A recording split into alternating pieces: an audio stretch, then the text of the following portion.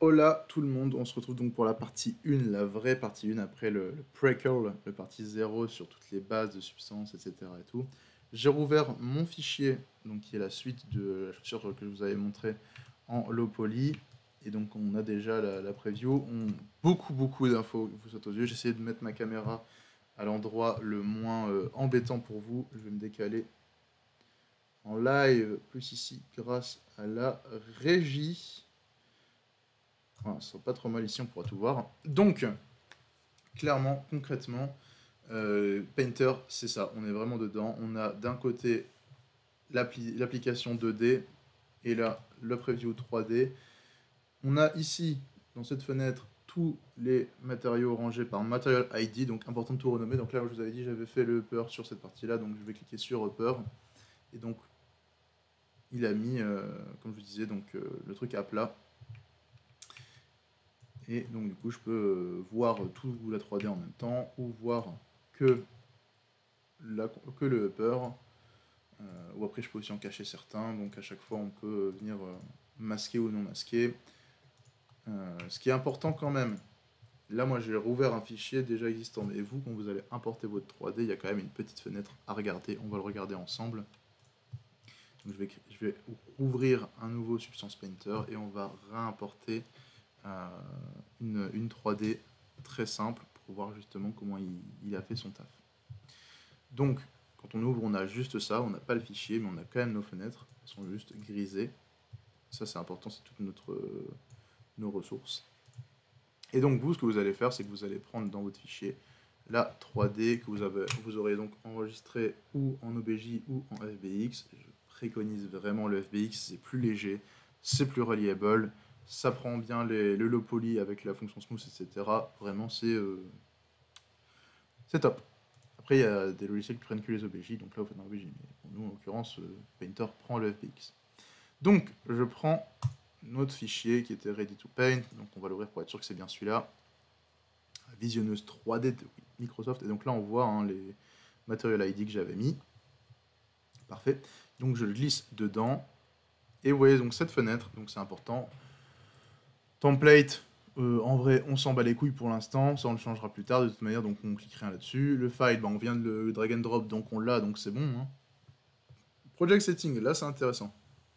Document resolution, c'est donc sur quelle euh, résolution le carré de votre texture mis à plat 2D va être fait. donc vraiment, normalement, quand on optit par exemple sur des jeux mobiles, etc., on est dans des petites euh, tailles de map. Le meilleur exemple, c'est Minecraft, par exemple. Minecraft qui, euh, de tête, je crois, est en 64 par 64 ou même en 32 x 32 pixels pour une face du carré.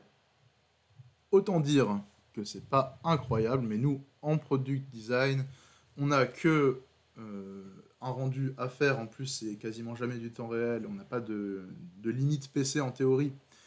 Donc on peut faire les gros bourrins, être sur du 4K texture pour venir faire des close-up et tout, c'est super. Normal map format, donc là c'est en gros est-ce que le logiciel après euh, tu veux lui parler en fait pour faire les, les, bumps avec le moteur DirectX qui vient directement des jeux vidéo ou l'OpenGL? Alors clairement je connais pas d'appli qui utilise l'OpenGL, je crois que de tête qui shot c'est DirectX ou en tout cas sinon on peut le enable. Moi je mets DirectX du coup. Après on peut pas le changer donc si jamais on m'apprend que tous les softs que j'utilise, donc Keyshot, le Aire intégré, etc., et tout, c'est du OpenGL, et bah très bien, je mettrai OpenGL à partir de ce moment. Mais pour l'instant, je mets Directive parce qu'en théorie, c'est plus compatible avec plein d'autres trucs, comme Unreal, etc. Ensuite, UV Tile Settings UDMI, donc ça, Compute Tension Space Per Fragment, euh, on décoche, hein, ça ne sert on s'en sert pas à quoi. Donc ça, le, les UDMIs, UDIMIs, pardon, c'est vraiment le, une feature, ce que nous on n'utilisera pas, mais qui est ultra importante dans le jeu vidéo. Ça permet en fait d'avoir des, non pas un carré de 0 sur 1, mais d'avoir plein de tiles qui se raccordent entre elles, etc. Faire des textures qui sont bien plus grandes que juste du 4K. Par exemple, quand on fait un paysage, j'imagine qu'on fait pas tout sur un truc de 4K, sinon quand on est dessus, on est littéralement sur un pixel si la map fait plus de 4000 mètres. Bref. Donc on, on s'en fout, ça on le coche pas du coup, le UV tile, parce que nous on sera que sur une seule tile. On n'importe pas les caméras, sauf si vraiment on a envie de travailler un truc très particulier. Moi, je m'en suis jamais encore servi, mais si jamais vous avez des caméras qui sont déjà prêtes et que vous voulez faire des rendus dans le moteur intégré de Substance Painter, bah pourquoi pas, allez-y. Et là, c'est très important, c'est le auto unwrap. Donc là, vraiment, on va s'en servir tout le temps, sauf dans un seul cas, c'est dans le cas où on a fait un, textile sous Marvelous ou euh, votre euh, modéliste ou quoi, vous avez fait un textile sous Clo 3D. Donc là, vous avez d'abord donc Marvelous gérer les UV avec le patronage de D, tout bien enregistré, tout bien fait propre, donc vous ne le cochez pas puisque donc, du coup on va le, garder. Mais là, l'auto on va le cocher et dans les options, on va bien mettre Recompute All, histoire d'être sûr que tout va se recalculer. Euh, moi, je vais pas mettre OK, parce que ça prend un peu de temps, ça prend des fois jusqu'à 15-20 minutes, le temps que l'algorithme déplie tout sur son maillage très complexe. Euh, mais à la fin, en gros, on arrive sur, une fois que je mets OK, on arrive sur ça. Donc je vais enlever toutes mes maps de toutes mes textures et on va refaire, euh, pas tout évidemment, hein, mais on va voir un peu un breakdown de toutes les textures, comment elles ont été créées. Voilà, hop, hop, tout ça on enlève. Donc vous voyez, hein, c'est très simple. On a euh, ici les Material ID, en dessous chaque Material ID, donc c'est layer, comme Photoshop. Ça marche exactement pareil, donc on n'a pas à être perdu. Hop. Tac, tac, tac, tac. D'ailleurs, ça, j'ai fait de la merde, on va le fermer, fermer tout ça. Donc le upper, généralement, c'est le plus gros parce qu'on redessine tout. Hein, le upper, on va pas se faire chier à modéliser des empiècements avec des reliefs, etc. Hop. Et donc, je crois qu'on arrive au bout. Voilà. Donc, de base, on aura ceci. Donc, notre 3D toute lisse, hein, comme on l'avait laissé euh, dans, euh, dans Blender, Maya ou ce qu'on veut, ce qu'on a importé. Donc il se peut que vos deux fenêtres soient inversées. Hein. Moi je sais pas pourquoi, j'ai fait une fausse manip un jour et je me suis retrouvé avec le la 2D à gauche. Bon ça me dérange pas, hein, étant donné que je ne suis pas un lecteur du Figaro, euh, avoir des choses à gauche ça ne me donne pas de l'urticaire. Alors, donc du coup on a toutes les maps et à chaque fois on a son équivalent 2D. On peut déjà voir euh, si tout a l'air plus ou moins cohérent, donc le upper il a l'air plus ou moins cohérent. La tape elle est quasiment toute droite, donc c'est plutôt cohérent le, les, les. Donc là, moi, c'est cette pièce ici, qui est un peu en étoile. Bon, elle est plutôt bien, bien déroulée. Le lining, c'est juste l'intérieur du col. Bon, il est, pas mal bien déroulé. La structure interne, qui en fait donc sont les petits crampons à chaque fois, qui ne sont pas liés. Donc du coup, là, on le voit, hein, ça fait plein de petits îlots. C'est à chaque fois cohérent avec le dessus et tout le bord. Donc euh, on a le chapeau et après tout le reste qui s'est déplié. L'Insoc qui est vraiment juste un bête plan 2D pour pas avoir un, truc vide ici. Bah, j'en attendais pas plus honnêtement. Donc il est un peu dégueu, mais ça va, ça m'embête pas trop. Les Hillclets, on peut voir grâce à la lumière l'arête qui est ici. Et là tous mes, mes crampons. Donc c'est bon. Et les fronts qui sont plus ou moins pas mal. Donc là, pas de souci.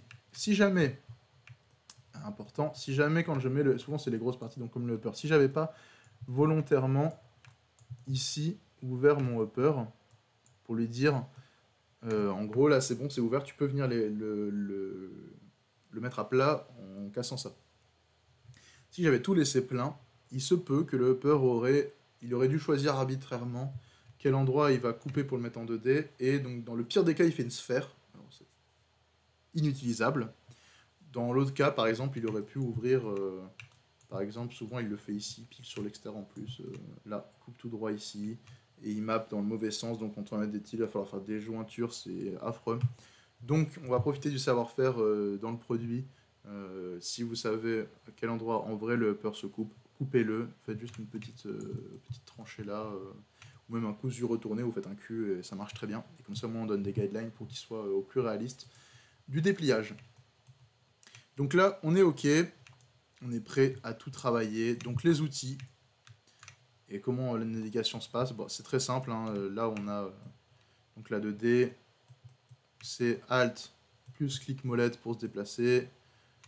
La molette euh, avant-arrière pour zoomer, dézoomer. Alt, clic euh, standard, on va dire, le, clic gauche pour tourner, le clic droit pour faire le, le zoom, dézoom, mais je crois que c'est pas le zoom, dézoom, c'est le en 3D, c'est le la focale, donc on n'utilise jamais ça, on utilise toujours la molette. Hein.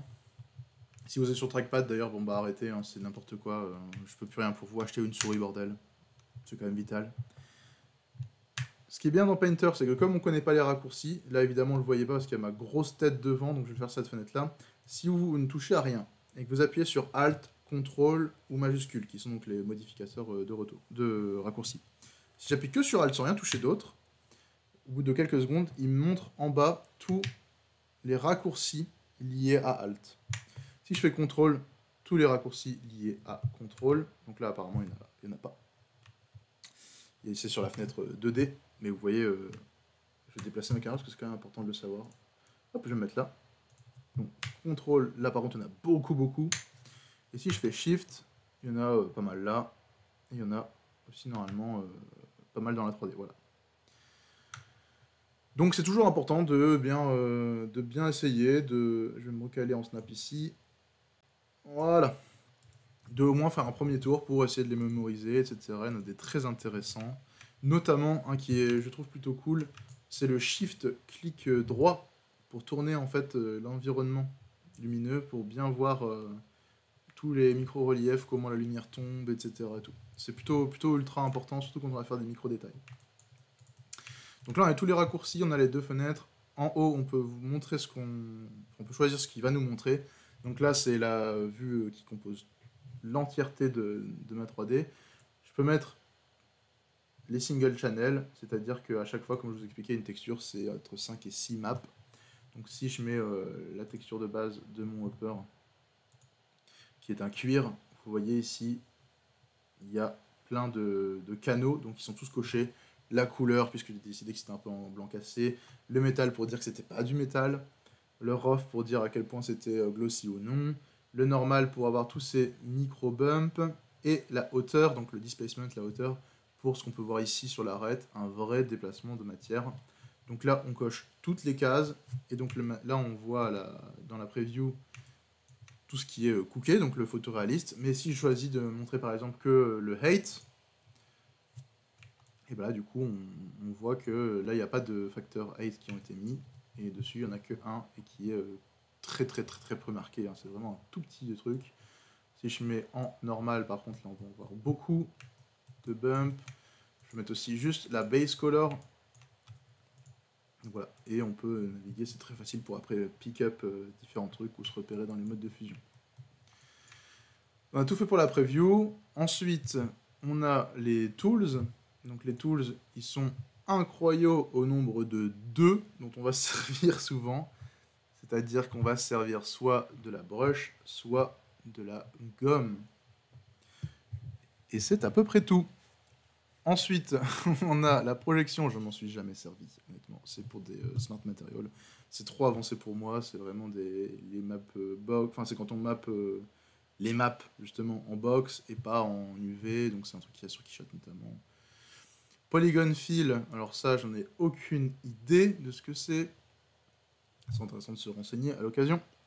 On a ensuite les smudge, donc c'est l'outil de voix pour venir par exemple, si on, fait un caractère designer un caractère design pardon, qui a euh, une trace de charbon sous l'œil, on va mettre un coup de doigt pour créer un peu ce côté. Il a été, oh, la peinture elle a un peu euh, coulé, etc. Ça peut être plutôt sympa. En product design, on s'en sert jamais honnêtement, hein, c'est sûr et certain. Le tampon, jamais servi. La pipette, jamais servi, puisqu'on l'a à chaque fois dans les, quand tu dans le l'outil couleur, elle est remarquée ici. Donc vraiment, on se sert que de la broche et de la gomme. Euh, là, c'est le lien directement vers Substance euh, Share Website, donc euh, vous allez jamais vous en servir en vrai. là, c'est l'autosave, l'autosave qui est ultra pratique, qui crée des nouveaux fichiers, qui, ne, qui donc du coup n'écrase pas le fichier de départ. Par contre, qui s'active de manière aléatoire, enfin pas aléatoire, mais c'est toutes les 20 minutes, et c'est les 20 minutes. Il te laisse pas finir ton action es en train de dessiner un trait, vous verrez, il y a un petit, petit sablier qui se met en vert ici c'est la case devient toute verte et elle descend, et quand tu arrives tout en bas, que tu fini ou pas ton action, il sauvegarde, ce qui fait un petit freeze de quelques secondes. Euh, et ça crée des nouveaux fichiers qui s'appellent autosave 1, autosave 0, autosave 2, etc. Tout qu'il faut pas oublier de supprimer, sinon ça prend plein de place sur ton PC. Tout ça, on s'en tape aussi. L'export to Photoshop qui est quand même plutôt sympa, en vrai. En vrai de vrai, qui pourrait être vraiment, vraiment cool pour la dernière étape euh, qu'on verra dans la vidéo numéro 5 qui sera en plus même la sixième. Donc là, on sera tous au bout de notre live, de tout ce training. Mais elle peut être vraiment utile pour un point très important. En haut, bah, pas de surprise, hein, le file save euh, et export. Edit, bon bah, edit euh, project configuration, ça permet si jamais vous avez fait une modif sur votre produit de le réimporter en le remettant là. Viewport, euh, bon bah voilà, pas très intéressant. Euh, Windows, euh, rien de très intéressant. Les modes, et là c'est très intéressant. Il y en a deux. Le mode Painting, qui est cette interface qu'on va voir, et le mode de render qu'on verra dans la vidéo numéro 4, donc la cinquième de cette série. Et j'en ai déjà marre d'avoir fait un épisode 0. Les viewports, donc on a vu rien. Python, c'est pour les gros cracks qui font de la programmation, c'est pas nous. JavaScript, pareil, on peut avoir des plugins, etc. Et help, bon bah help, euh, vous savez tous ce que ça veut dire de l'help. En bas, la grosse bibliothèque des sources, donc des substances, pardon, qui viennent de sources. Donc on a des substances, il y en a déjà beaucoup qui sont intégrées, et euh, moi il y en a beaucoup que j'ai euh, téléchargés aussi, qui sont de très bonne qualité, donc pour ça c'est très simple rangé. Donc euh, là, on suis dans les matériaux, donc euh, les matériaux, il y a toutes les, substances. Smart Material, c'est d'autres substances, mais qui sont pas faites avec des maps, mais qui sont faites avec des groupes de maps. Donc c'est un pur délire. Les Smart Masks que j'ai jamais réussi à utiliser, mais qui permettent notamment de, de créer... Euh, surtout, en fait, c'est surtout utile. Super, ça crash. Eh ben, c'est génial. Disons que c'est très très très utile pour euh, ceux qui font du design un peu grunge, pour créer vraiment de la saleté, de la poussière, euh, les edges, la peinture qui s'en va, etc. Nous, pour mettre en avant des produits tout neufs, c'est pas très utile. Vous en conviendrez. Ensuite, environment, bah, ça c'est toujours cool. Hein. Si vous avez euh, des HDR avec lesquels vous aimez beaucoup travailler, bah, vous pouvez l'importer dedans et on l'utilisera dans le IRA, mais qui aura aussi son importance pour la preview qui est ici, parce la preview qui est ici utilise un HDRI qui est le même que celui du render. Color Profile, clairement, c'est beaucoup trop euh, high level pour nous. Pas s'en servir. Euh, donc ça on a vu. Les tools, bon bah les tools, euh, c'est beaucoup de trucs funky, très rigolo. On a des Stitch super cool que j'ai pas encore testé, qui sont sortis dans la toute dernière mise à jour. Donc c'est grave canon, on peut faire des zips aussi, c'est super sympa. L'idée c'est vraiment d'explorer un maximum toutes ces ressources. Les particules, bon voilà, les particules, c'est des sortes de brushes dynamiques. Par exemple, c'est tout con, mais si je prends euh, mon il et que j'utilise par exemple euh, la fracture là-dessus, je clique de. Je crée. Je vous expliquerai la démarche évidemment euh, dans le focus matériel. On va impacter que ça. Donc là, je clique deux, deux, fois dessus, donc j'ai ma broche. On voit que la broche, en fait, je clique une fois et ça va créer un point de simulation qui va projeter des particules partout. Ça peut être super sympa.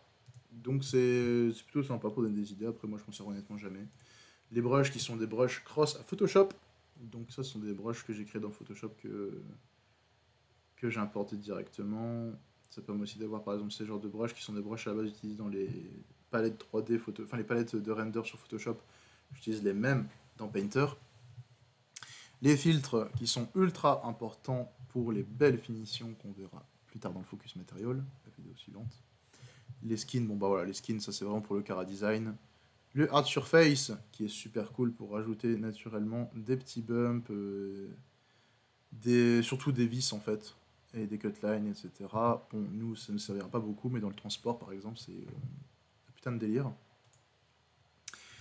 Les textures, bon ça ce sont des textures euh, pour les base colors, donc là vous voyez moi je travaille pour la NBA, et donc du coup forcément j'ai des logo NBA. Et on flex, évidemment. Le procédural qui est ultra cool, ça permet d'avoir vraiment des, euh, vraiment des fonctions, en fait, de créer une sorte de mini génératif intégré. Euh, après, je pense que dans Designer, l'idée c'est de créer ses propres scripts et de les importer dedans. Et en fait, à chaque fois, après, on peut venir modifier l'échelle, les shapes, mettre des filtres. Un délire. C'est ultra ultra cool, notamment pour faire des semelles des chaussures, pour des motifs. Super sympa. Le grunge, bon bah le grunge c'est du grunge, on va pas se mentir. Hein. Et après les alphas, donc les alphas c'est tout ce qui va être des, on va dire un peu des sortes de fausses brushes, mais en gros c'est un, une image qui pareil fonctionne en noir blanc, blanc c'est 100%, noir c'est 0%, et ça permettra de euh, l'appliquer comme on veut sur le produit. Par exemple là si je veux sur mon île mettre un petit sticker, euh, enfin un tampon noir pardon, donc un tampon ça va être que sur de la couleur, donc couleur euh, noire, voilà. Et je vais mettre par exemple le nouveau logo Decathlon qui est incroyable, allons-y, en utilisant le logo Decathlon. Hein. Tout c'est quand même eux qui me ralassent tous les mois.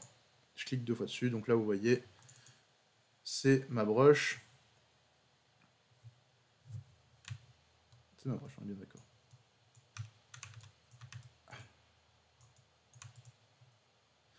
Ok. Ce n'était pas ma broche, j'avais gardé la particule. Donc ça a fait une projection de dé en live. Donc je remets bien ma broche de base. Et l'alpha de cette broche, ça va être notre dé. Voilà. Notre dé, je choisis son inclinaison, etc. J'appuie dessus. Et vous voyez, ça n'a joué que sur la couleur. Si jamais j'avais voulu le mettre en opacité 100%, j'aurais couché aussi opacité 100%. Vous voyez, c'est pas du tout le même rendu. Et ça prend toutes les, micro-trucs, etc. Donc ça, c'est super sympa. Pour chaque projet, à peu près, on va créer, de toute façon, euh, au cas par cas, c'est euh, sortes de d'alpha print, on va dire, au cas par cas, c'est toujours un carré. Par contre, attention, si c'est un rectangle que vous voulez faire, il faut quand même l'inscrire dans un carré, parce que sinon, il va venir lui-même le scale en carré, et c'est la full merde. Donc voilà un peu, et enfin, les trucs euh, liés que au projet. Donc là, moi, j'ai rien importé que au projet. dès que j'importe, en fait, dès que j'importe une ressource, on va le faire en live, hein, par exemple, si je veux importer cette image en image de rêve, par exemple, mais c'est un peu complètement con. Je la glisse dedans, il me dit panneau d'import. Donc cette image site.jpg, elle va servir à quoi? Soit ça va être une alpha, soit ça va être un environnement, soit ça va être une texture. Donc moi, en l'occurrence, ça aurait été une texture, puisque c'est une couleur qu'on aurait appliquée ou quoi. Mais si c'est un alpha, je clique sur alpha, et ensuite, je l'importe que dans mon projet, ou shelf dans mon PC, du coup ça à cross-projet. Généralement, moi je prends le réflexe de tout importer tout le temps en shelf, comme ça je l'ai toujours cross-projet, c'est toujours cool de récupérer des ressources d'un autre projet pour, euh, pour le nouveau. Et all, bah, il y a tout. Et après, on peut faire de la, affiner la recherche par, des, euh, par les tags, etc. Qui est donc super, euh, super sympa. On a fait un peu tout le tour de la... C'est un très gros tour de toutes les ressources. On a vu les Material ID, on a vu les layers grossièrement. Donc, en vrai, c'est très simple. Donc, les layers, ils se composent de la même manière que tout le reste. C'est-à-dire que c'est comme Photoshop, du bas vers le haut, hein, tout se met au-dessus, comme une lasagne. Et à chaque fois, on a donc euh, le canal qui générera la miniature. Donc là, en l'occurrence, la base couleur, bah, j'ai que un calque de couleur qui est blanc cassé. Tout le reste, ce sont des facteurs de relief ou quoi, donc qui sont transparents. Je peux mettre en 8 par exemple. Là, on voit que la hauteur, ça a été modifié ici et ici. Là, eux, ils ne modifient pas la hauteur. Et ce qui est très important de remarquer, c'est que donc du coup, suivant tous ces... En fait, chaque canal correspond à un à une lasagne de layer, c'est-à-dire que là, ça va être mon lasagne de layer de base couleur. Ils auront à chaque fois leur mode de fusion et leur opacité, mais ce n'est pas cross-canal. C'est-à-dire que dans mon 8, par exemple, j'ai pas les mêmes modes de fusion et j'ai pas les mêmes niveaux d'opacité. Pareil pour l'opacité, etc. Donc ça, c'est bien important. On a plus de dimensions que dans Photoshop puisqu'on joue sur plus de facteurs. Toujours les facteurs qu'on retient, la couleur, le métallique, la roughness, la normale ou le bump, et le height ou displacement. Et enfin, le opacity. Dernier petit truc avant qu'on fasse le focus matériel pour le, tout le tour de tout ça. Donc c'est évidemment sur chaque, une fois que vous cliquez sur votre layer, vous avez en dessous ses propriétés. Donc sur quel facteur il joue, et en dessous chaque facteur, les sliders, etc. Donc ça c'est très bien, pas de soucis.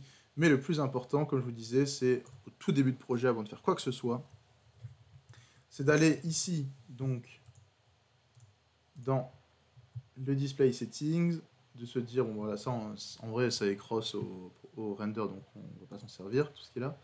Mais le shader settings, par contre, ça, c'est important, la petite boule, c'est déjà se dire, mon projet, est-ce qu'il aura de la transparence ou non? Si oui, il a de la transparence, il faut changer. Ici, de base, il est en PBR Metal Rough, et c'est tout. Et nous, il faut mettre celui-ci, le PBR Metal Rough with Alpha Blending. Ce qui veut dire qu'on va enable la transparence dans notre projet. Je clique dessus. Et une fois que ça c'est fait, il faudra au cas par cas sur chaque Material ID dire si lui ou non il va prendre de l'opacité, puisque de base l'opacité n'est pas mise. C'est d'un truc qu'on verra ensemble, après je vous laisse pour ce petit chapitre. Et il faut mettre aussi dans mon displacement, est-ce que je le enable ou je le disable? Donc moi je l'enable puisque je vais utiliser la 8 pour plein de choses. C'est comme la base de pourquoi ce logiciel est une dinguerie. Donc, source 8, puisque c'est le 8. Scale, ce que je vous disais, c'est la hauteur max du projet. Et après, ce sera que des facteurs entre 0 et 100% de cette euh, hauteur. Et enfin, donc moi j'ai mis 3 mm parce que ça allait pas être des gros crampons, mais tout le reste, par exemple ce genre de, de creux, etc. Sachant que tout est euh, évolutif, hein, donc on peut à chaque fois euh, leur modifier, mais au début de projet c'est bien de se mettre une première, une première valeur. C'était 0,3. Hop Et enfin, subdivision mode, mettre en edge length, ce qui veut dire qu'il va modifier euh, avec eux s'il y a besoin. En fait, il va venir recréer des points, ce qui allège beaucoup l'uniforme. De dire, voilà, moi, la longueur maximum d'un edge, euh, c'est 1 pour 408e, au plus petit. Qui veut dire que j'aurai des détails très précis, ce qui va créer beaucoup de triangles, ce qui va faire une 3D très lourde. Si par exemple je mets 1 sur 64, vous voyez que là, l'arête est cassée parce que j'ai pas assez de finesse de edge pour venir créer le maximum de, détails. Et plus je vais en rajouter, plus on va être ultra précis, surtout sur la suite qui est là. Après, bon, bah voilà, c'est 1 pour 3000. Ne le faites jamais. Ne dépassez jamais les 400, 500, sinon, un, votre PC va mourir, deux, votre 3D va être trop lourd pour être enregistré, donc c'est du grand n'importe quoi. Voilà, et enfin, dernier point, donc comme je vous disais, voilà, mon, mon il a de la transparence ici. Donc pour avoir cette case qui s'affiche, je vais aller dans Texture Set Settings, donc mon Texture Set, les settings de celle-ci, et dans les channels, je vais faire petit plus et je vais rajouter le opacité, qui euh, du coup n'apparaît pas puisqu'il est déjà apparu ici. Mais si je l'enlève, il apparaît ici. Voilà. Tout est bon pour euh, toute l'overview. Je... Très très dense, j'essaie de faire au plus court. Désolé mettez des pauses à chaque fois entre chaque truc, etc. Maintenant, on va passer à la vidéo numéro 2, troisième vidéo, deuxième partie. J'en ai marre d'avoir fait une partie 0. Focus Material. Donc là, on va prendre une seule pièce de notre projet et on va venir la créer pas à pas. Donc je pense que le plus intéressant, évidemment, ça va être le upper, mais euh, on va sûrement pas prendre celui-là. On va peut-être plutôt prendre une pièce hard et on va cross entre les deux. Bref, je vous laisse. À tout de suite.